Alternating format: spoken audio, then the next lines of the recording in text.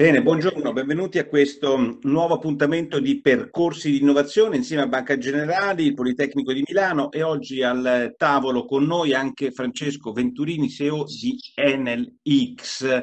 Vedete anche Laura Grassi, la ringrazio, direttore dell'Osservatorio FinTech e Insurtech del Politecnico di, Milano. Buongiorno anche a lei. Buongiorno.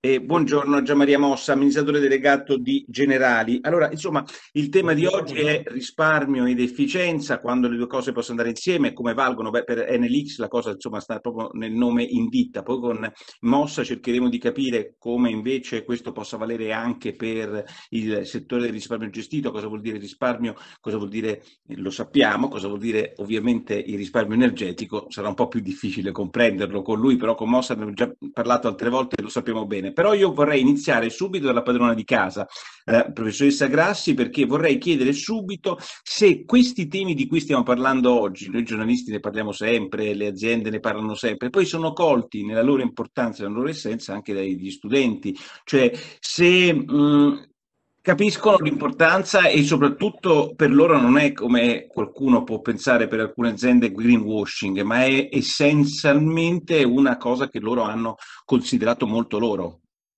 Magari glielo chiediamo direttamente dopo, però da, da, da, dagli studi, dalle ricerche eh, che facciamo al Politecnico, credo emergano due cose. La prima, che quando noi parliamo di giovani e di utilizzo di servizi fintech, che poi sostanzialmente significa innovativi in ambito finanziario, no? digitali, eh, che a volte disintermediano, ma a volte no, ecco, la soddisfazione è molto alta. Con le scale voti da, da, da scuola, no? su scala 10, eh, mediamente 8 la soddisfazione che hanno, che hanno, i giovani, quindi estremamente soddisfatti e questo vale per i pagamenti, eh, per il risparmio, molto spesso in realtà più che risparmio a lungo sono salvadanai, quindi finalizzati no? magari più a breve e medio periodo, assicurazioni istantanee, quindi una serie di servizi anche molto eterogenei tra loro. Però c'è un però. Perché se si va a capire, va a chiedere ehm, se vogliono fare un finanziamento, se vogliono fare un'assicurazione salute, che in questo momento no, è molto ehm, di rilievo, eh, se vogliono pensare nel lungo al loro risparmio, quello che scelgono come operatore di riferimento è quello tradizionale, o la banca o la posta, diciamo, o l'assicurazione. Quindi mm. le due cose in realtà sono un connubio eh, di, di, di una stessa preferenza che hanno i ragazzi. Mediamente, poi vediamo loro cosa. Vediamo, vediamo, poi come ci risponderanno loro su quell'altro tema. Venturini si è laureato alla Sapienza, è una cosa che abbiamo in comune, quindi la dico ogni volta che lo vedo perché eh, poi dopo, a differenza mia... Grande università. Gra- grandissima università via Castro Petrolio, ve lo dico, ce lo siamo detti anche l'altra volta che ci siamo visti. Vabbè, comunque nulla togliendo alle università milanesi. Andiamo avanti. E poi ho fatto London School of Economics, la MIT nel 2017 NLX, dal 2017 nasce NLX. E, ehm, è il momento giusto per accelerare questo, secondo te, Francesco? Siamo, eh, abbiamo passato, abbiamo passato, abbiamo scollinato, c'è ancora da fare un po' di lavoro per far capire esattamente che cos'è il risparmio energia e il, l'utilizzo diverso. Noi all'università queste robe qui, insomma, non è che ce le spiegavano alla Sapienza. Beh, perché parlavamo poco di, uh, di, innovazione, che è una cosa abbastanza strana, uh, ma in realtà se andiamo a guardare Uh, almeno questa è la, è la, mia opinione, si parte dalla da, uh, creatività. Uh, noi siamo un paese di creativi e creatività è fondamentale per andare a guardare le cose in maniera, in maniera diversa. L'innovazione invece parte dalla creatività e significa andare a trovare una soluzione a problemi vecchi oppure mh, trovare una soluzione a nuovi bisogni. Um, io però tendenzialmente quando guardo a guardare fintech, innovazione, certo. nuovi trend energetici, a me piace sempre tornare ai fondamentali. Alla fine siamo in un'economia di, uh, di capitali, uh, dobbiamo tornare a uno stratega, al vecchio Porter e c'è sempre un tema di costi o differenziazione. Pensare che il mondo sia cambiato e che quindi si competa uh, su, su, su strade diverse secondo me è sbagliato. Dobbiamo essere o competitivi da un lato di costo oppure dobbiamo trovare una maniera per differenziarci. L'innovazione ci, ci aiuta a ridurre i costi e a differenziarci. Che cosa è cambiato? A ridurre i costi, a ridurre i costi, Francesco, scusami se ti interrompo, sempre a ridurre i costi l'innovazione, eh, perché in realtà è anche un, un investimento l'innovazione, immagino. Beh, però ti, ti permette di, di, essere più efficiente e quindi essendo tu più efficiente degli altri hai un, hai un, migliore prezzo del tuo prodotto e quindi riesci a vincere sul mercato. L'innovazione la fai anche dal, da, ovviamente sul lato della differenziazione, Uh, quindi tu differenzi il tuo prodotto e quindi il tuo pro- prodotto è più appetibile sul mercato. Però alla fine i due grandi poli sono questi. Che cosa okay. è cambiato rispetto al passato? È questo che è fondamentale. È che si pensa che l'innovazione, sia al lato costo che al lato differenziazione, sia la soluzione per, per tante cose, per tutto, e quindi ci sono grandi capitali e quindi grandi opportunità per tutti i giovani perché uh, grandi capitali aprono opportunità di investimento. E questo secondo me è il grande, il grande, il grande cambiamento rispetto al passato. Quindi innovazione la, la vediamo sotto questo punto di vista qua. Cosa, quali sono però i grandi trend? Forse è quello dove, che ci dobbiamo andare a chiedere in questo momento. Sì. E qua entriamo proprio nell'argomento di oggi, quindi sostenibilità, tutto quello che è transizione energetica, Uh, ma anche il futuro del cibo, il futuro del lavoro. Uh, sostenibilità si declina in tante maniere diverse. E secondo me l'altro grande trend a cui dobbiamo andare a guardare è tutta la transizione invece digitale, a cui si ricollega ovviamente tutto il mondo del fintech. Eh, Mossa, eh, eh, ci conosciamo anche con te da un po' di anni, non, non, posso dire che il cliente tipo della Banca Generali che guidi da 5 anni è un 25enne eh, diciamo eh, assetato di innovazione. no, lo dico eh, perché mi auguro che tu abbia tanti 25enne unicorn come tuoi clienti, perciò eh, la domanda non è ovviamente così sciocca, però come entra eh, il fintech, le nuove tecnologie, l'innovazione per un mercato piuttosto conservatore? Perché Venturini punta a un mondo diciamo, molto, molto, molto ampio di, di, di, di clienti. Tu, insomma, devono avere quattro soldi almeno. Sì, non guarda. che non abbiano i soldi quelli di Venturini, però insomma mettiamola che il risparmio gestito è un po' un problema più anche di, di quantità. Hai capito che tendo? Eh, certo, Beh, innanzitutto ti ringrazio perché mi hai promosso ad amministratore delegato di Generali. Che non, non so Banca se... Generali ovviamente. allora, non so se è una buona promozione, vabbè eh, lasciamo perdere. Ringrazio, è uno spiccio per il futuro. Allora, diciamo che abbiamo circa 20.000 ragazzi sotto i 30 anni come clienti, che comunque è un bel numero rispetto ai 300.000 complessivi. Il problema vero è che sono circa quindi il 6,5%. Gestiscono meno dell'1% degli assets, quindi è un po' la fotografia dell'Italia. Mi piace certo. avere i giovani come clienti, poi se lo guarda da un punto di vista di risparmi, purtroppo di unicorn ne abbiamo veramente molto poco. Però è anche vero che anche se uno l'abbiamo, l'abbiamo, l'abbiamo intervistato insieme, eh? bravissimo, bravissimo. uno l'abbiamo intervistato, ora che ci penso, è un giovane che abbiamo intervistato insieme, vero? Sì, ha fatto un'operazione da 600 milioni, quindi non, non, è andata male, non è andata male. Il, diciamo che però il tema della user experience, cioè di, di, di, pretendere semplicità, velocità, riguarda un po' tutti, soprattutto riguarda anche i banker che eh, riescono a migliorare la qualità del servizio. Se, se, tu pensi che ormai siamo al 60% di operazioni che passano eh, senza carta e che riguardano proprio diciamo, i nostri clienti più ricchi, ti dà un po' l'idea di quanto ormai è nell'abitudine comune, nell'usanza comune, eh, avvalersi di eh, innovazione anche nei settori più tradizionali.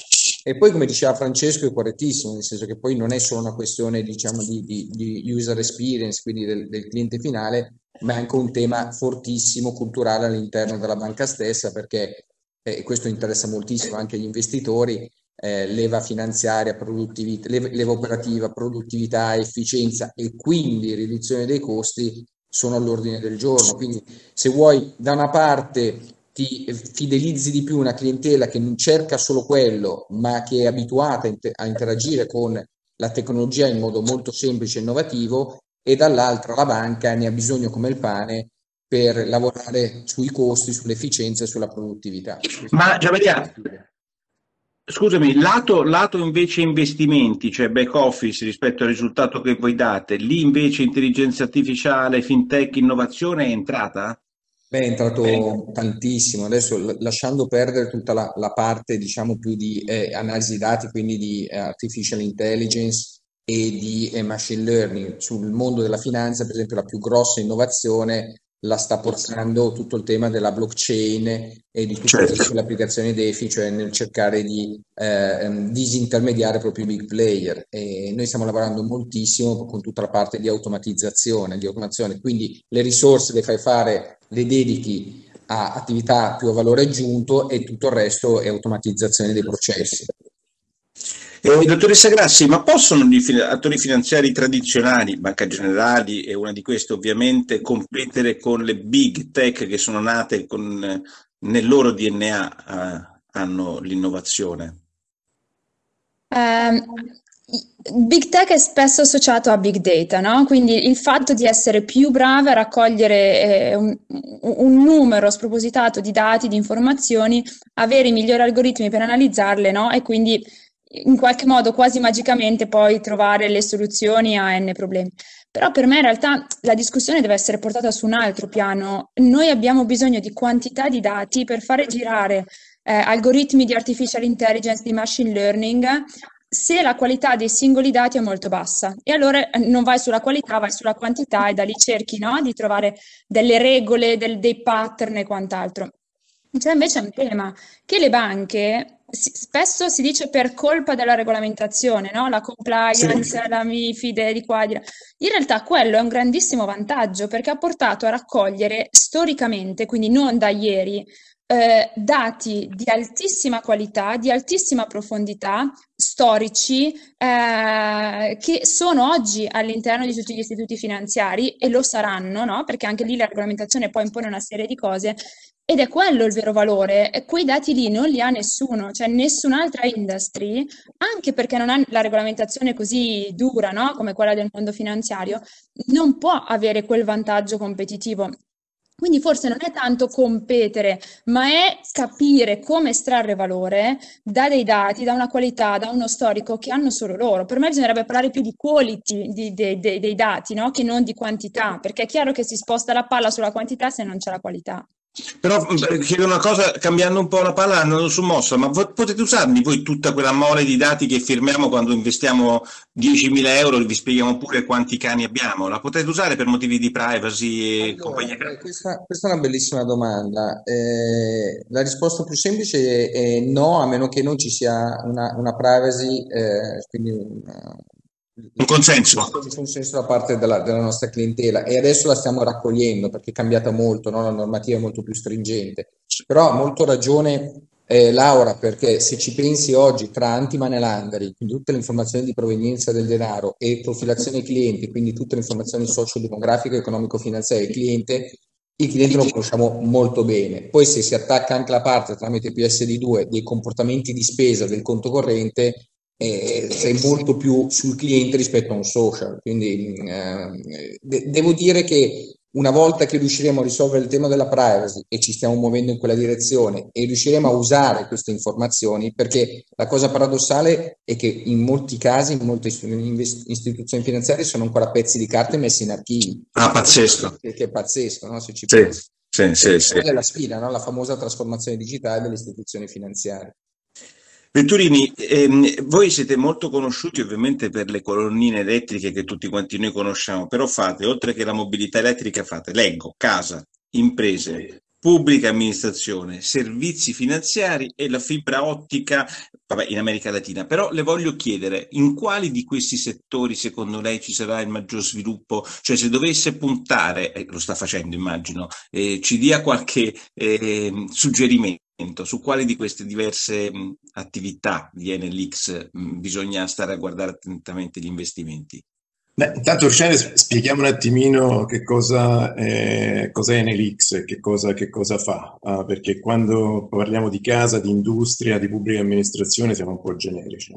Ma noi partiamo con un obiettivo principale che è quello di um, cercare di aiutare i nostri clienti a, essere, a fare un, un utilizzo dell'energia più sostenibile e contemporaneamente a risparmiare. Uh, queste sono due cose che sembrano sempre um, una che va contro l'altra, ma in realtà sostenibilità spesso vuol dire risparmio. Come le aiutiamo a fare questo? Elettrificando i consumi da una parte, digitalizzando uh, le proprie attività dall'altra. Questo è il nostro focus principale, insomma, è un po' nel DNA, quello che facciamo da un punto di vista di azienda energetica. In realtà poi tanta della nostra attività uh, è dedicata a, ad altro, perché noi andiamo a guardare quelli che sono gli asset sull'enorme stato patrimoniale di, um, di, Enel e cerchiamo di valorizzare questi asset. Faccio un esempio di cosa parliamo. 75 milioni di contatori vuol dire che Enel in giro per il mondo dà energia a quasi mezzo miliardo di persone tutti i giorni. Quindi potete immaginare il portafoglio di clientela potenziale che questa azienda ha. Um, cosa, su che cosa punterei? Allora, su, te, su, tante attività che noi facciamo, sicuramente tutta quella di trasporto sostenibile. Attenzione, non vuol dire soltanto colonnine, vuol dire eh, trasporto del cosiddetto ultimo miglio. Sempre di più le persone comprano meno automobili e si dedicano sempre di più a un trasporto più sostenibile, più di breve eh, eh utilizzo con quindi trasporto pubblico con un trasporto eh, di um, cosiddetto appunto ultimo miglio per arrivare eh, a casa in ufficio eh, trasporto su gomma, trasporto su barca, uh, rotaia uh, e anche il trasporto aereo si sta convertendo in parte almeno al, um, all'elettrico e qua scaturiscono tutta una serie di servizi. Uno di questi servizi, che è la seconda cosa su cui puntiamo in maniera molto forte, è la cosiddetta um, virtual power plants, quindi le aziende, di, le, le, le, gli impianti di generazione cosiddetti virtuali.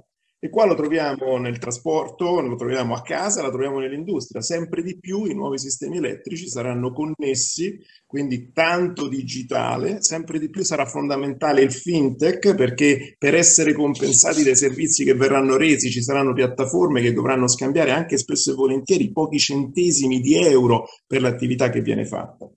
Andremo sulla casa intelligente sempre di più, quindi efficiente, digitale, servita, in questo caso assicurata ed è nuovamente anche qua per tutti i servizi che andremo a fare, ora siamo abituati a vedere sempre di più abbonamenti da 3, 4, 5 euro e tutto questo vorrà dire scambiare in maniera efficiente tutti questi pagamenti. L'ultimo settore su cui stiamo puntando in maniera molto molto forte, che non era nella lista che hai fatto prima, è la telemedicina. Uh, una cosa su cui stiamo iniziando a investire in maniera importante e su cui riteniamo che in Italia, ma in giro per il mondo, ci siano grandi spazi di crescita. Abbiamo, abbiamo, fatto insieme un po' di mesi fa il lancio della vostra eh, applicazione. Come sta andando l'applicazione dei servizi finanziari? Proprio per questo ragionamento che facevi tu del fatto che molti pagamenti possono essere collegati, questa roba impressionante di 500 milioni di persone che comunque potenzialmente sono un patrimonio da, tenere bello caro? Come sta andando? Sta andando molto bene, tante persone non sanno, ma la, la Enel possiede un circuito privativo di carte di credito in America Latina anche molto importante. Ah, in America Latina? Ah.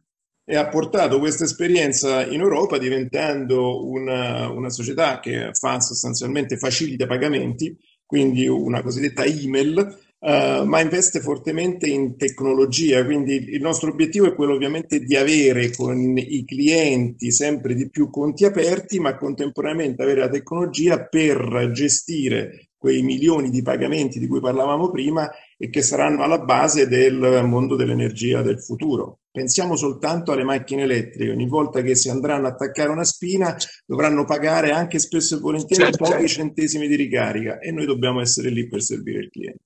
Eh, eh, Gianmaria, ehm, il, i temi di cui parla Francesco Venturini sono i temi ovviamente del futuro su cui stanno investendo molte aziende, però quando sento l'industria finanziaria, l'abbiamo fatto tante volte anche con te, l'ISG è l'investimento fondamentale, sostenibilità, il green, eh, la governance, è dettato dal fatto che c'è una montagna di liquidità e, e, quindi si cerca disperatamente una storia, come ne abbiamo viste tante negli ultimi 30 anni, o questa volta eh, la storia è, è, un po' come eh, l'altro lato di quello che ha detto Venturini, cioè bisogna andare verso quel mercato perché è un mercato che sarà il mercato del futuro. Ma allora, eh, per rispondere velocemente, sicuramente il mercato del futuro. Poi, da un punto di vista di quotazioni di mercato, come tu ben sai, bisogna distinguere un po' il breve dal medio-lungo. L'anno scorso eh, tutto il tema dell'environmental, cioè la, la EDSG, è stato il settore che eh, è cresciuto di più, ha fatto crescita a tre cifre è partito quest'anno con un più 30 e poi adesso ha corretto circa un 20%. Soprattutto quelle, le, tutte le, diciamo, le, start, le piccole aziende, le aziende molto verticali che hanno un livello di indebitamento molto alto, stanno un po' soffrendo ovviamente di presa di benefici e poi delle prospettive di inflazione, di normalizzazione. Sì.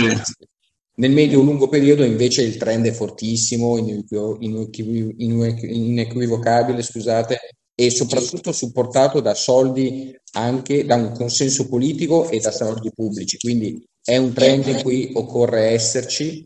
Io credo che sempre di più bisogna guardare non solo eh, società che verticalmente coprono il settore, ma anche big player che hanno avuto la capacità meglio e più velocemente di altri di avviare la trasformazione interna. Credo che Enel sia veramente un esempio eh, di cui dobbiamo essere orgogliosi perché è un esempio italiano di grandissima trasformazione e innovazione nell'ambito green.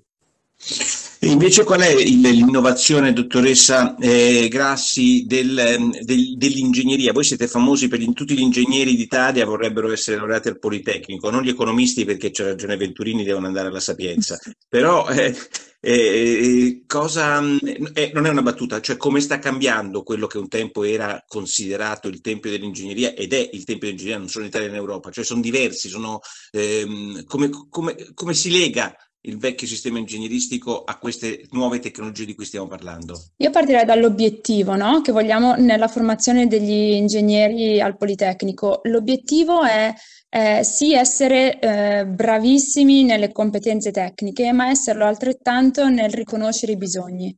Eh, perché se sei bravissimo nella parte tecnica, oggi nel mondo in realtà hai altri eh, competitor, diciamo, no? persone, ma hai anche la, la tecnologia stessa che, che, ti può sostituire in certi, in certi, ambiti. C'è però un tema, il riconoscere il bisogno, oggi la tecnologia non è così brava a farlo, no? E allora noi lavoriamo sul doppio aspetto. Uno è di risaldare, di creare competenze tecniche, tecnologiche, capire il digitale, non lo so, saper programmare in Python, no? Però io non definirei i nostri studenti dei programmatori. Um, quella è quasi una commodity. E loro sono molto bravi, ed è forse anche il motivo per cui hanno grande successo, a capire che prima di arrivare a programmare e alla fine della programmazione ci sono due fasi fondamentali. La prima è di aver capito bene il problema, cioè di averlo veramente capito, ehm, anche se viene raccontato male, anche se viene dato un obiettivo di breve quando in realtà è di lungo. E il secondo è il cosa c'è dopo, cioè il verificare che le cose funzionino, che si deve rifare sempre, che non sia mai finito, che si può ripensare, ci si può sempre migliorare, è quello eh, su cui noi andiamo a lavorare, no? Per cui questo è l'obiettivo con cui eh, in realtà stiamo eh, lavorando su tutti i nostri master, su tutti i nostri programmi. Eh, nella pratica questo che cosa significa? Significa avere dei centri di ricerca al Politecnico molto importanti sia per la parte tecnologica che per la parte di innovazione o di verticale di business. No? Ehm, quindi partire dalla ricerca eh, di altissimo livello e poi fare in modo che questa ricerca passi eh, nella formazione, molto spesso fatta anche con le aziende aziende, eh, con testimoni aziendali, con casi, con progetti che sono veri progetti aziendali su cui misurarsi, no? E quindi non, non avere quella, l'università, il politecnico è una cosa, e il mondo del lavoro, il mondo, come dire, reale è un'altra, no? Noi soprattutto sugli ultimi anni, soprattutto sulle lauree specialistiche, le magistrali, no? Quindi gli ultimi due anni del percorso formativo, quello che vogliamo è lavorare con le aziende e, e creare lì anche no? la, la, la, la formazione dei ragazzi. Ricordo, ricordo, tutti quanti i ragazzi che possono, potranno fra poco fare delle domande direttamente inserendo nome e cognome nella sessione di Q&A e, e, quindi io però vado subito da Venturini a chiedergli banalmente se io fossi un 22enne ehm, che tipo di ragazzo, come mi dovrei presentare per entrare nella tua società, quali sono le competenze che voi chiedete, cos'è che guardi, non so, immagino non sia tu a fare la selezione dei nuovi assunti, però quali sono le caratteristiche che cercate? Faccio faccio, io invece no, uh, guardo tantissimo la selezione ah, dei... Direttamente anche tu? Direttamente ovviamente no, perché poi la ah. selezione è, è molto estesa. Uh, noi abbiamo 3.200 persone su 27 paesi in giro per il mondo, quindi come puoi immaginare di curriculum ne vediamo tantissimi. Però la mia, la mia, preoccupazione è sempre quella di essere sicuro che eh, quando andiamo a fare selezione um, andiamo a misurare con attenzione la diversità, perché se non portiamo diversità in azienda eh, rischiamo poi di appiattirci molto. E tendenzialmente noi siamo una utility, eh, il, nostro DNA, il nostro DNA è quello, quindi Um, abbiamo una tendenza a standardizzare molto il tipo di figura che um, andiamo a cercare sul mercato, perché con 60, 70, 80 anni di storia dietro, uh, quello è un pochettino uh, no, il motore che ci siamo messi quando facciamo la selezione. In realtà in Elix cerchiamo um, profili molto diversi. Um, prima Uh, Laura ha, ha detto uh, i programmatori sono quasi una commodity, magari uh, ad averceli i programmatori bravi che, che, siano commoditizzati e possano lavorare con noi. Abbiamo una difficoltà mostruosa a trovarne sul mercato, in particolare sul mercato italiano. Abbiamo una uh, difficoltà mostruosa a trovare gente che sappia fare buon project management end-to-end. Abbiamo una difficoltà mostruosa a trovare gente che voglia fare cambiamenti culturali profondi in azienda, che vuol dire rimettere completamente tutto in discussione, a fare quelli che vengono definiti gli agile coach, che poi nella realtà sono nient'altro che dei motori di cambiamento in azienda, che hanno uh, delle attitudini che spesso e volentieri sono uh, di tipo uh, psicologico, uh, sociale, magari laureati in filosofia e che ci aiutino proprio a guardare il mondo in maniera diversa. Abbiamo parlato tanto di lauree, abbiamo parlato sicuramente tanto di, di, di lauree tecniche sì. che sono fondamentali nel futuro, ma io non disdegno persone che facciano un percorso completamente diverso che la laurea eh, non necessariamente ce l'abbiano come eh, obiettivo, noi dobbiamo comunque cercare gente che um, abbia anche capacità di guardare il mondo diverso e che quindi magari siano cresciuti, uh, utilizzo un'espressione, il nerd di turno che è cresciuto uh, di fronte a un computer, ci ha passato gli ultimi 15 anni di vita, per noi è fondamentale. Non li voglio tutti così, ma avercene 4-5 all'interno del team che guardino con, con, con caratteristiche diverse uh, il mondo è fondamentale perché comunque riescono a servire quella parte, quell'angolo buio che gli altri non, non riescono a guardare. Quindi uh, suggerimenti non ce li ho, la diversità è fondamentale, sicuramente le, le, le, le materie scientifiche rimangono un aspetto importantissimo per um, lo studio di questo in questo momento, perché visto che c'è una, si parla tanto di transizione digitale energetica, però uh, gli studi classici uh, portano assolutamente tanta diversità in azienda e non devono essere sottostimati. Bene, Gian Maria, il, le, invece il tema su di te è, riguarda invece la disintermediazione. Ieri ho fatto un webinar mh, sulle, sulle mie, miei social sulle quotazioni di questa settimana delle piattaforme dei bitcoin. Ieri è stata una domenica tremenda per i bitcoin, però non, non voglio entrare nelle criptovalute, voglio entrare proprio in questo nuovo principio della disintermediazione bancaria e, e che, come, come, come l'affrontate. Ma allora, per... Le ultime due domande te le voglio fare un po' più economiche e finanziarie, Gianmaria. Wow. Questa okay. e poi dopo... Sai, per un'azienda che lavora nell'intermediazione finanziaria, no? tu usi la parola disintermediazione, eh. mi viene un po' un brivido. Eh, certo. bisogna anche capirsi bene che cos'è disintermediabile e cosa no. Uh, io credo che l'esempio che tu hai fatto sulla tecnologia blockchain, sulle cryptocurrency siano un esempio di eh, futuro di eh, modalità alternativa nel mondo, per esempio, del transazionale di sistemi di pagamento. Già oggi eh, esistono persone che trasferiscono soldi a familiari, tendenzialmente nel terzo mondo, senza dover caricarsi di fee del 5-10%. Quindi ci sono dei settori che stanno già, secondo me, soffrendo della pressione eh, delle nuove tecnologie e tutto il mondo, per esempio, del, dei sistemi di pagamento e del transazionale stanno in qualche modo eh, caratterizzando aggregazioni, pensa ad esempio Next in Italia, o eh, startup che hanno fatto del verticale dell'innovazione un punto di forza per, no, per diciamo,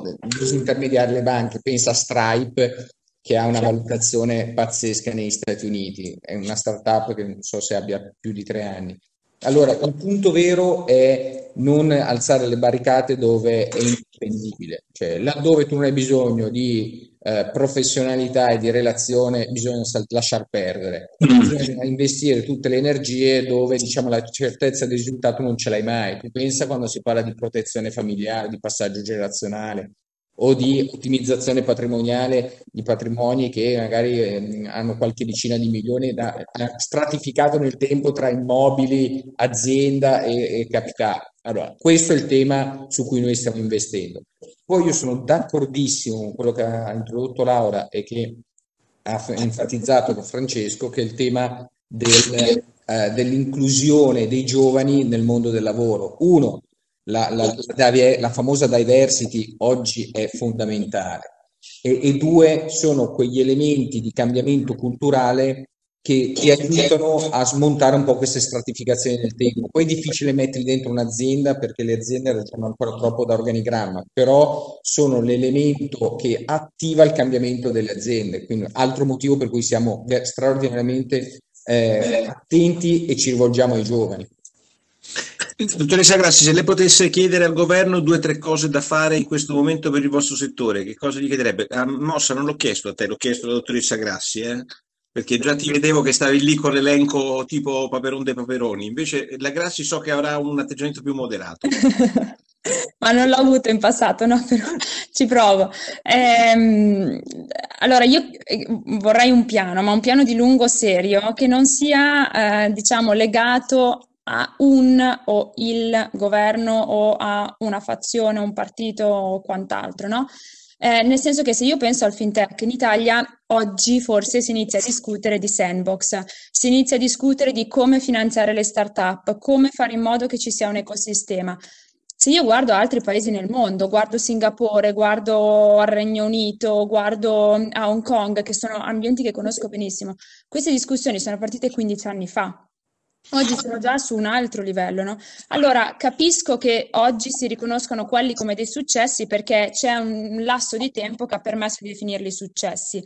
Eh, però capisco anche, oppure forse spero, ehm, che si capisca che oggi siamo già a un altro livello, no? quindi forse ripartire a eh, prendere spunto da altri paesi non deve essere fatto eh, guardando alle singole iniziative che sono state fatte in quei paesi, ma forse più a guardare il senso di quelle iniziative e contestualizzarlo nel mercato italiano, che ha tutte le sue specificità eh, che ben conosciamo. No? E questo è un piano strategico veramente pluriennale perché non è la singola iniziativa che porta un beneficio, è il come le autorità, il governo, le università, le aziende lavorano veramente tutti insieme per un obiettivo eh, che sia un obiettivo comune. Quindi benissimo tutte le iniziative che sono nate, no? da, da, dalla Cassa Depositi e Prestiti a il Sandbox, a, Lab, ad esempio, di Banca d'Italia, no? le prime che mi vengono in mente. Eh, però forse possiamo fare ancora di più con questa logica no? di, di, di, sistema, di obiettivo futuro comune, di, insomma. Bene, speriamo, insomma, adesso eh, ritorno a cose un po' più prosaiche con Venturini perché gli voglio chiedere subito mh, una delle cose che a me più appassiona perché io sono ancora della generazione come la dottoressa Grassi che ama il vinile, anzi il vinile canto, l'ho immaginato perché vedo che parliamo di innovazione, non può non esserci il vinile nella sua vita come non possono che esserci le macchine a benzina con i carburatori nella mia, però a parte le battute, dottor Venturini, la cosa che mi interessa capire è, è quanto la mobilità elettrica sarà nel futuro, eh, si svilupperà nel futuro, perché poi, siccome abbiamo fatto la sapienza con lo stesso professore di statistica, quando noi vediamo più 1200%, eh, perché poi il problema è che partiamo da 400 auto vendute a 16.000, eh, siamo sempre su numeri ridottissimi dell'elettrico puro, a parte tutte le battute. Dove vede quel mercato? Dove sta andando? Quali saranno le evoluzioni e se verranno segmentati tra diversi usi che se ne dovranno fare? Forse stiamo partendo dal numero sbagliato, non dovremmo andare a vedere uh, il venduto in Italia, dovremmo andare a vedere l'investito nel mondo. Okay. Uh, le scelte si fanno nel momento in cui si fanno gli investimenti, perché una volta gli investimenti sono stati messi a terra, bisogna poi prendere il prodotto e portarlo sul mercato.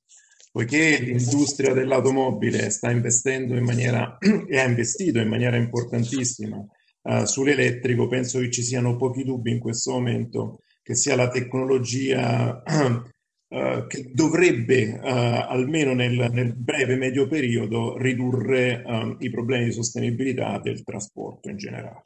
Uh, quindi um, pensiamo, viene sempre preso in, ad esempio la, la, Tesla, ma forse non è l'esempio giusto. Tesla è stato uh, quello che ha uh, spaccato il mercato, è l'innovatore. Prendiamo invece le grandi industrie, la Toyota, la Volkswagen in particolare, ma ora anche le altre due grandi aziende tedesche come la, la BMW, la, la Mercedes, la stessa Renault. Gli investimenti fatti sulla tecnologia elettrica sono mostruosi e quindi Uh, questo sono secondo me un segnale forte di quello che sta per accadere. Il 2021 era visto come l'anno in cui sarebbero arrivati in gran parte dei modelli che um, poi ci saremmo trovati nelle strade. Effettivamente sta succedendo. In Italia 500 elettrica, uh, in, in, Germania l'ID3, uh, la, la, la, la, X3 della BMW e così via. Um, non penso che ci siano dubbi che siamo a un momento di svolta. Ci sta poi questo forte legame tra struttura di ricarica e, uh, e, e automobile elettrica.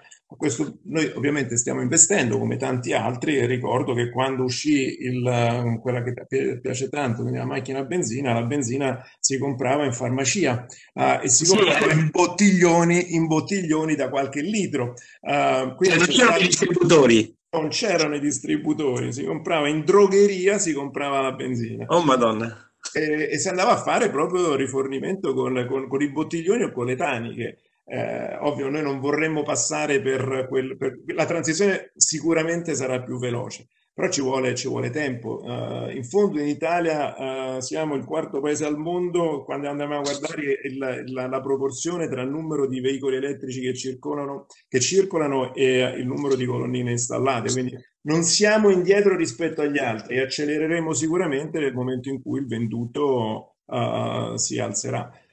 Su questo abbiamo qualche problemino uh, con la pubblica amministrazione, ter- secondo me proprio in, in termini di capire che eh, la, la, questa evoluzione alle porte c'è necessità di accelerare da un punto di vista um, infrastrutturale.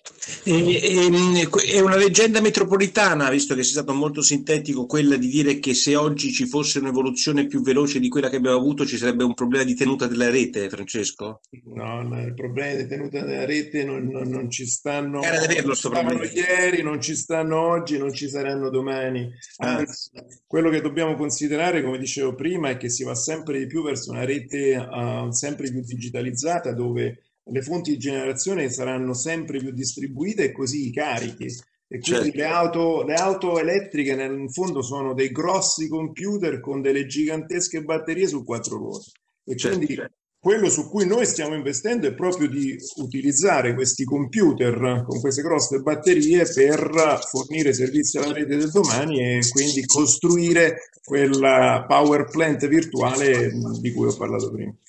Bene, fra poco arrivano le domande dei ragazzi, ce ne sono già due, però vorrei chiudere con Mossa, e cioè eh, le banche tradizionali, insomma, alla fine un mestiere solito, cioè l'intermediazione, come dicevi tu, altro che disintermediazione, però tassi a zero come sono oggi, qualche problemino ce l'hanno. Quindi la domanda che io ti faccio è, eh, si parla molto di ritorno dell'inflazione, ci credi e, e, quindi credi che in prospettiva ci sarà un aumento dei tassi? Immagino che anche gli ingegneri che ci ascoltano capiscono bene che un periodo di tassi così basso, insomma, ce lo siamo sognato, ci sono tassi negativi, bisognerebbe spiegare ai nostri genitori cosa vuol dire avere un BTP che invece di darti dei soldi alla scadenza te li chiede.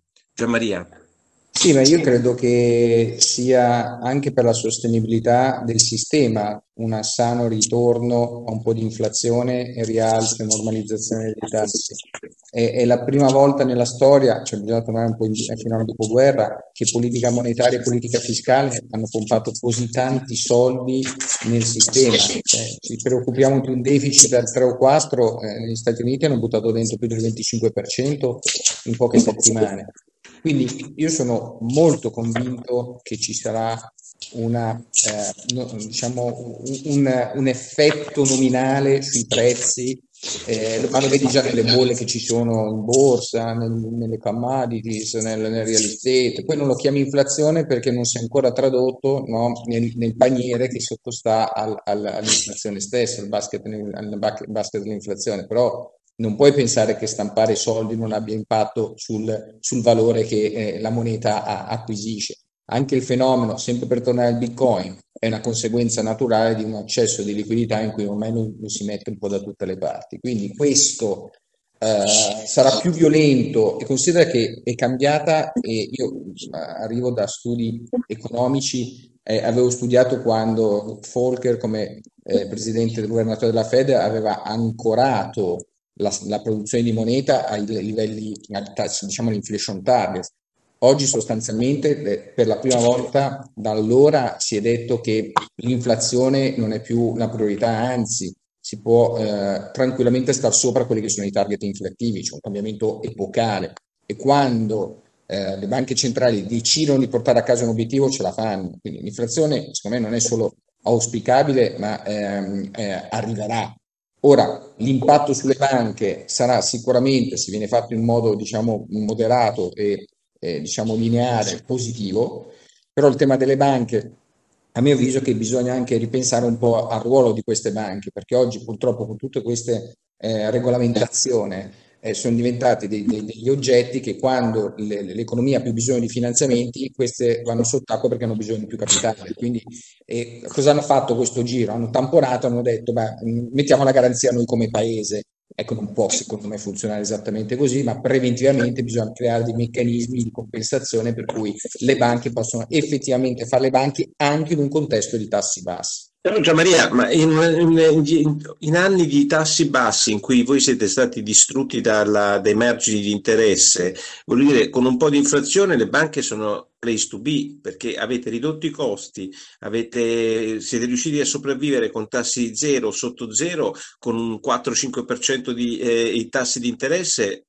Il vostro eh, scenario è dire idilliaco e dire poco. Visto che vi eh, siete abituati a vivere negli ultimi cinque anni, quanti anni è che siamo in tassi zero? Tre? Eh, diciamo che se lo guardi in Europa meno, sì, siamo nel terzo anno, se lo, cioè lo guardi in Italia, se lo guardi in altri paesi, perché noi abbiamo sempre avuto lo spread che comunque da certo, certo, beh, certo. Eh, se pensi alla Germania la situazione è ancora più devastante. Non è solo per le banche, ma è anche per le compagnie vita. Eh. Il problema riguarda ah, tutto il settore allargato. Eh, certo, dei, dei peggio mi sento per loro. Eh, esatto, certo. esatto. Quindi nel medio periodo è chiaro che quelle che stanno sopravvivendo hanno fatto un lavoro pazzesco uh, per rendersi più lean, per ridurre i costi fissi, no? hanno fatto una trasformazione importante. Ce n'è ancora da fare, c'è ancora tanto consolidamento che introduce anche una componente un po' più speculativa uh, della, della, borsa. Quindi sicuramente sì, hai ragione. Se c'è inflazione, il settore finanziario ne risente positivamente e se guardi negli Stati Uniti è quello che sta succedendo. Difatti, difatti, già le prime trimestrali di, di due o tre giorni fa, anche se l'inflazione non è del tutto arrivata, anche se sono aumentati. Nicola Guidi,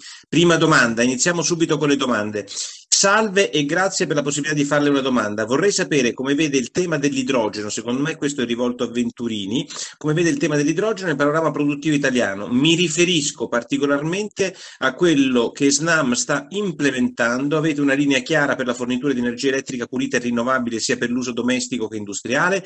Avete già in mente alcune partnership con attori produttivi? In Italia mi viene in mente Falk o Erg, insomma, domande, eh, più domande in una, eh, immagino non per Mossa queste, ma per Venturini.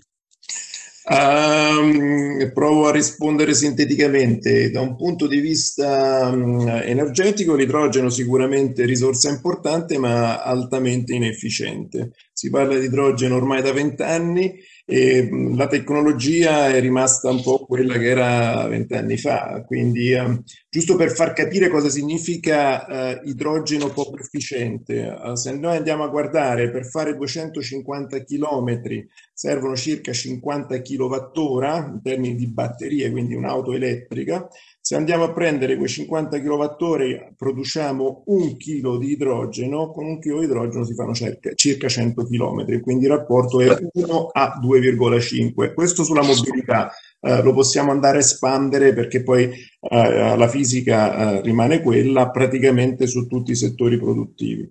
Uh, si parla tanto di idrogeno perché è sicuramente fonte pulita e si parla anche tanto di idrogeno perché eh, il mondo dell'oil da qualche parte deve andare a parare e poiché ha una grande difficoltà a entrare nel mondo delle rinnovabili perché è un mondo ormai un mondo abbastanza saturo che è partito uh, circa 15 anni fa, uh, si trovano a parlare di, uh, di idrogeno. Idrogeni ne esistono tanti, l'unico idrogeno su cui io mi sento veramente di credere è quello cosiddetto verde, cioè l'idrogeno prodotto da fonte rinnovabile e che poi viene utilizzato per quelle forme industriali o di trasporto che uh, altrimenti a batteria probabilmente Ammazza, non.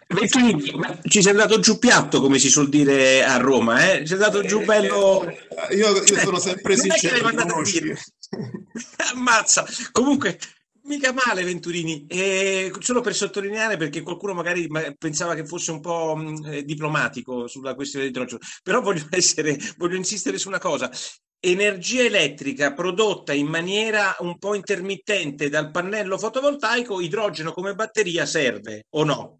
È questo che stavi dicendo? No, non stavo dicendo questo, stavo dicendo che l'idrogeno è potenzialmente una forma di, uh, di batteria, chiamiamola così, di energy storage, sì, più sì, che di, di energia, Uh, a mio parere ci stanno forme diverse che, uh, doma- visto che parliamo di innovazione e di digitalizzazione, sì, sì. digitalizzare una rete vuol dire riuscire a utilizzare tante forme contemporaneamente di generazione, okay. ma anche tanti carichi. Ritorno al concetto di virtual power plant. La rete del futuro non sarà quella di oggi, sarà una, una, una rete molto digitalizzata, l'idrogeno sarà un piccolo pezzo che parteciperà. Bene, andiamo su Mossa. E, ehm, e, la domanda la fa Stefano Colombo, eh, Gianmaria. Due domande per Gianmaria Masso sperando di non finire fuori tema. Nel mondo del trading e speculazione finanziaria, il trading discrezionale sta venendo sempre più sostituito da quello algoritmico. Pensate che questa tendenza sia ugualmente in atto o lo sarà in futuro nella gestione patrimoniale anche per clienti più facoltosi? Quindi questo stiamo parlando del, dell'utilizzo degli algoritmi. Seconda cosa, un'istituzione tradizionale come può essere Banca Generali, come vede il Bitcoin in generale, l'ecosistema delle criptovalute, può diventare una minaccia per i gestori, insomma un po' di criptovalute e di algoritmi per la gestione per una banca, tradizio- per una ah, banca allora, tradizionale. Il trading Vai. algoritmico ehm, è, è, già nella mainstream, cioè faccio un esempio, tutto il tema dei semipassivi, tutto il tema eh, degli ETF passano con eh, modelli quantitativi Dopodiché ci sono modelli che sono solo per replicare o momenti invece per cercare di catturare dei trend. È una parte gigantesca del mercato ed è la parte che secondo me eh, motiva di più una componente attiva nella gestione, perché purtroppo questi sistemi tendono ad accentuare le, le fluttuazioni. Il disastro che è successo a marzo, che è stato violentissimo, è in gran parte dovuto al fatto che i modelli hanno dato il segnale di vendita perché sono tutti tipicamente su fase di, o di replica o di, o, o di trend. E quindi devo dire che ci sono tante eh, soluzioni quantitative, anche diciamo, le persone più, eh, più, eh, più, più ricche stanno compensando, stanno bilanciando le strategie di portafoglio mettendo sia la parte gestione quantitativa sia la parte gestione qualitativa con una componente forte eh, di alfa da parte del gestore. Quindi è un trend forte, è un trend che preoccupa il sistema e che non è ancora stato, secondo me, regolamentato a sufficienza e che ha anche le fluttuazioni facendo anche dei disastri. Sul Bitcoin noi siamo, credo, l'unica banca che ha direttamente investito con una startup che si chiama Conio, eh, io... Sì, ne ho parlato proprio ieri, ne ho parlato proprio ieri perché lo chiedevano miei, nel mio webinar, tutti parlavano di questa conio. Sì, sì, ma diciamo che stiamo lavorando davvero tanto perché credo che le cryptocurrency per diversi motivi, sia che se le guardi come strumento di pagamento, sia che le guardi come eh, strumento di investimento, sia che le guardi come eh, una modalità per essere più trasparenti e mettere in sicurezza delle transazioni, eh, sia la, la, rivoluzione copernicana nel mondo della finanza. Eh, credo che il Bitcoin eh, spesso e volentieri si tenda troppo a far coincidere Bitcoin con cryptocurrency, con eh, blockchain. Eh, la Bitcoin è uno dei sottoprodotti e cercherei di tenere ben, dis- ben differenziato l'esito di una nuova tecnologia che nelle cryptocurrency trova anche la possibilità, per esempio, di tokenizzare degli asset finanziari da quello che è una valuta che oggi è nata, eh, il Bitcoin, considerata valuta digitale, anche come storage di valore. Quindi bisognerebbe approfondire un po' il tema, ma diciamo che in generale io credo che per banche come la nostra avere la possibilità di eh, cavalcare il fenomeno tecnologico in primis della blockchain e di tutti i sottoprodotti sia un modo per no, essere più sostenibili pro futuro. Quindi, come dicevamo prima, non bisogna mettersi no, a nascondersi, ma bisogna in qualche modo viverla e l'investimento che abbiamo fatto in Conio è proprio quello di riuscire in una logica quasi di corporate venture capital di cavalcare il treno. Per Venturini, quale pensate, lo chiede Filippo Albeltaro, Albeltaro, quale pensate che sia il più grande ostacolo nello sviluppo e nell'implementazione di tutte queste innovazioni in una realtà come quella italiana? Insomma, quali saranno i freni? chiede Filippo. I, I, freni sono uno dei freni importanti, uh, è proprio la, la, necessità di trovare il talento, il talento giusto. Um, abbiamo grande necessità di uh, immettere all'interno uh, della nostra organizzazione sangue nuovo, con una formazione nuova e con una voglia nuova anche di fare impresa. Uh, l'imprenditorialità è una, secondo me un aspetto che un po' manca nei giovani che escono dall'università, dall'università italiana. Uh, perdonami. No, no, no, finisci perché poi pensavo avessi... Ah, poi volevo, tirare una, una, un calcetto alla pubblica amministrazione in generale, però questo qui... Vai, vai, vai, vai, no, ci piace da morire. vai, vai Francesco, già l'hai fatto all'idrogeno, vai, vai sulla pubblica amministrazione.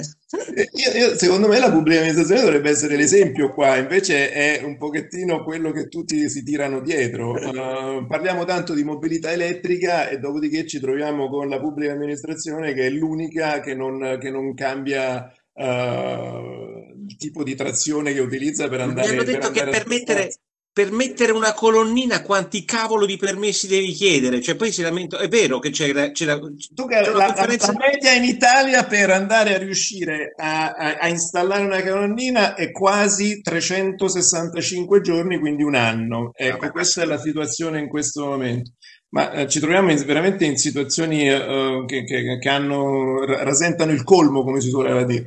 Uh, la pubblica amministrazione deve sicuramente cambiare. La pubblica amministrazione è una risorsa fondamentale, però rischia di diventare un ostacolo nel momento in cui non innova tanto quanto il resto dell'industria. Ora, non dico che devono essere a pari livelli, ma quantomeno accompagnare l'innovazione è assolutamente fondamentale, altrimenti diventa un peso.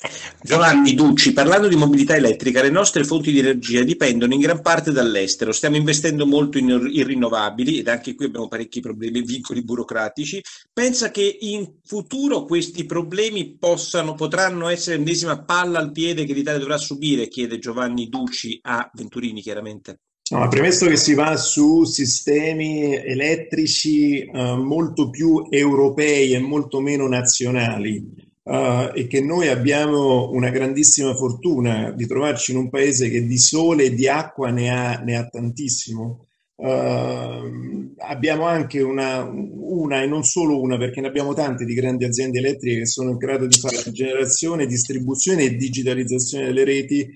Uh, si tratta soltanto di investire uh, in maniera giusta nella giusta strutturazione dei ruoli all'interno del settore dell'energia in maniera tale di fare investimenti avendo un obiettivo chiaro, quello che ogni tanto manca ma qua vorrei anche una, un, un'opinione da parte dei, uh, uh, di Laura e Gianmaria. Quello che manca ogni tanto in questo paese è la voglia di prendere delle decisioni, quindi avere una, de- una visione e dire io voglio arrivare là.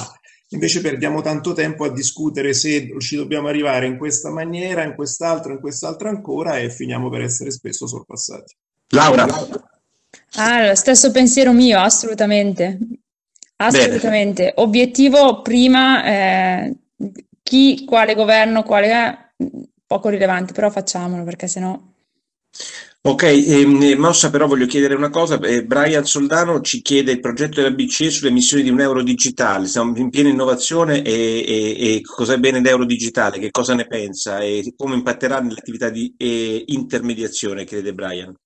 Ma guarda, io credo eh, che sia una bellissima innovazione perché aiuterà eh, in diverse direzioni. Prima di tutto renderà tutto più, più semplice, efficiente e trasparente. Eh, voi pensate per esempio a tutte le emissioni obbligazionarie, quelle finalizzate, in cui si potrà no, nel, nel, nel, blocco eh, scrivere la finalità, verificare l'effettivo utilizzo corretto del, del, dei soldi stanziati.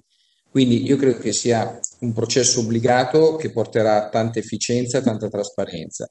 Poi credo anche che questo coinciderà anche con uno sdoganamento della blockchain e delle cryptocurrency col tema della sostenibilità. Stanno nascendo tantissime eh, blockchain che eh, lavorano per ridurre il consumo elettrico e credo che questo sia un passaggio obbligato per farle entrare diciamo, nel nostro linguaggio comune e anche all'interno delle banche centrali europee. Alessandro Olivieri ha letto un'intervista di Jean Todd, dottor Venturini, in cui parla di ibridizzazione del mercato delle automobili piuttosto che di una elettrificazione nel prossimo futuro. Pensa che questo step intermedio possa rallentare l'adozione del full electric, cioè la tesi appunto che si passi per l'ibrido? Jean Todd è un, è un, equilibrista meraviglioso, cammina sempre sul filo senza mai cascare, uh, essendo poi uh, um, grande capo della FIA e quindi avendo da una parte la Formula 1 e dall'altra parte la Formula E, soltanto per dare un, una dimensione di che cosa stiamo parlando. Le case automobilistiche hanno puntato tantissimo all'ibridizzazione inizialmente, uh, si sono accorte che il passaggio sarà molto più rapido del previsto. Quasi tutte le case automobilistiche hanno detto che entro i prossimi tre anni uh, smetteranno di, fare, di fare uh, automobili ibride e passeranno esclusivamente all'elettrico, perché il passaggio è molto più rapido di quello che avevano previsto inizialmente. Eh, Mossa, eh, Marco Marchi, eh, tra le big tech, eh, qual è quella che più sta minacciando il settore finanziario tradizionale, quella che più sta penetrando quel mercato? Beh, bella domanda, guarda, dal mio punto di vista ce ne sono tantissime. Io ho guardato con grande attenzione Coinbase, eh, perché ha fatto anche un processo di, di quotazione un po' particolare, potrebbe diventare una piattaforma per la negoziazione di qualsiasi cosa eToro che è nata al contrario, israeliana, che invece è partita dal trading tradizionale e si è spostato sulle bitcoin, o per esempio tutto il tema di Stripe di cui parlavo prima dei sistemi di pagamento.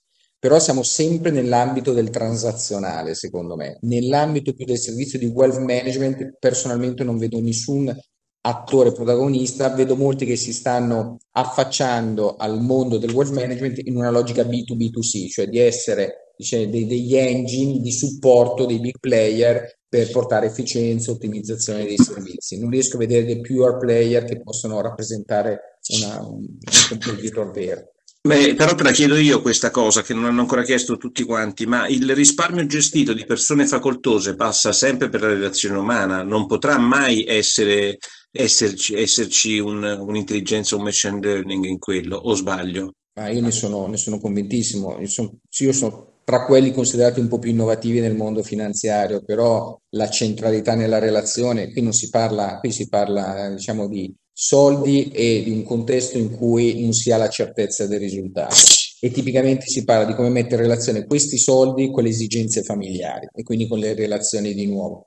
Questo non può essere demandato a una macchina. La macchina può sicuramente aiutare da una parte a velocizzare, ottimizzare tutto il tema dei dati di cui parlavamo prima, è straordinariamente importante perché avere un assessment diciamo razionale utilissimo, poi di nuovo parli con la pancia. Facevo l'esempio a marzo, eh, quando è scoppiata la pandemia, io sono dovuto venire in ufficio 4-5 volte perché gli imprenditori non parlavano né al telefono né in video e siccome dovevano parlare del passaggio razionale della loro impresa perché avevano paura, mi volevano guardare negli occhi. Ecco, questo rimarrà Certo. Magari tra due generazioni, tra 30 anni, 40 anni qualcosa cambierà. Ma quando si parla con gli affetti, e, e gli affetti non sono solo familiari, no? l'impresa è la propria creatura, il patrimonio costruito fa parte della propria storia, quindi lì è molto difficile disintermediare.